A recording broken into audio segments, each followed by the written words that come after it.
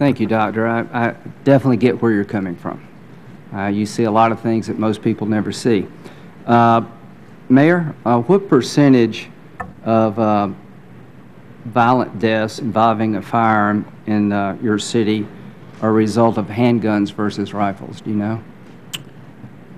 Thank you, Senator. In um, 2012, uh, unfortunately, we had uh, 331 murders in the city of Philadelphia. And pretty consistently over the last uh, 10 years or so, uh, murder has uh, been committed with a gun or other handgun or rifle type of weapon, usually anywhere from 82 to 85 percent of the murders in Philadelphia are committed with a gun. But, but you don't know of, uh, just nationally, according to the 2011 numbers, 2.5% of homicides were committed with some form of a rifle. You think that's vastly different in Philadelphia?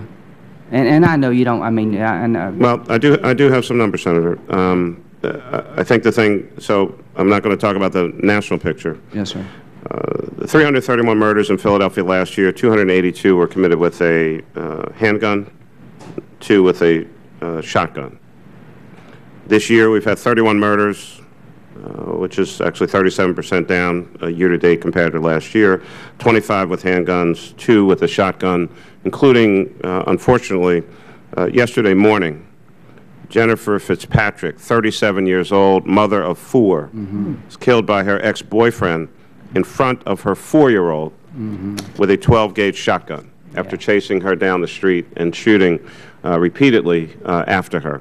Right. Um, so gun violence, uh, certainly in Philadelphia, many of our major cities across the United States of America, uh, I would only suggest, uh, Senator, um, you know, handgun, rifle, shotgun, dead is dead. Well, uh, and, and that's what's uh, being experienced in our cities all across America. I couldn't agree with you more, but the reason we have hearings like this is try to paint the picture for America of the problem we're trying to solve. Right. And uh, I don't know what percentage of deaths are caused by rifles in Philadelphia, but I know nationally it's 2.5 percent. Mr. Hardy, uh, you've done some uh, research on American ownership of the AR-15, is that correct? Uh, yes, sir.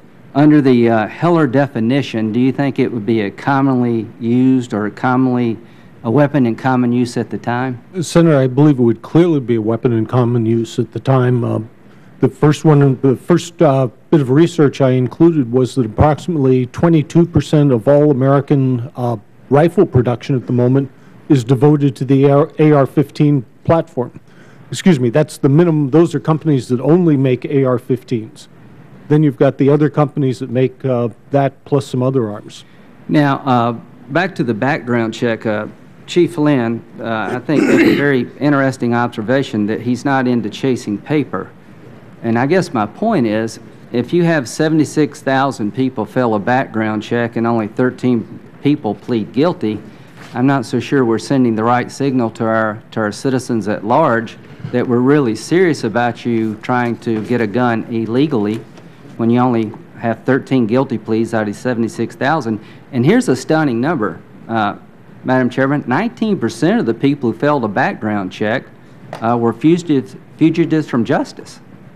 I mean, that's 13,862 people apparently in 2012 failed a background check because they were a fugitive from justice.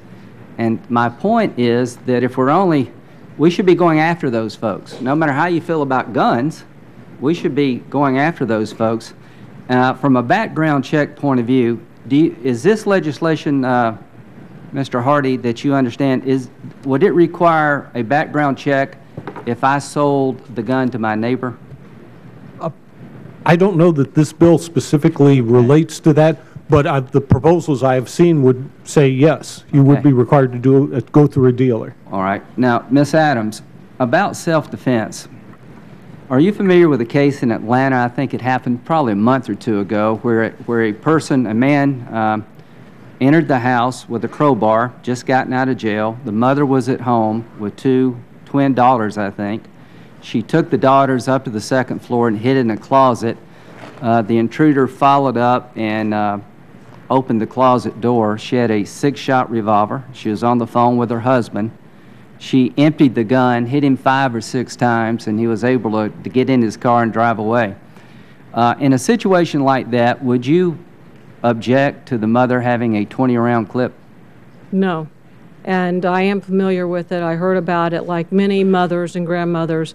Uh, And a- as a law enforcement officer, the question I had was if he followed them upstairs, sought them out when he had full access to any valuables downstairs, what was his intent? Well, we- we'll never know what he was up to because it, it, it ended in a way where the family was safe. And we all agree that no one who is mentally unstable or a criminal should have one bullet with any gun. And the whole point here is try to make sure that we balance keeping guns out of the hands of the wrong people without also recognizing the, the Second Amendment. I would suggest that in some situations, six bullets is not enough for a person defending their family, and one bullet in the hands of the wrong person is way too many. And that's what we're trying to accommodate here. Now, one last thing, and I'm trying to wrap this up. There's a debate about self-defense here, Mr. Hardy. If you had a lawless situation, let's say there's a natural disaster somewhere, unfortunately, these things happen. There are three homes. There's a home without a gun, there's a home with a shotgun, and a home with an AR-15. If there's a gang roaming around the neighborhood, what home do you think is best protected in a situation like that?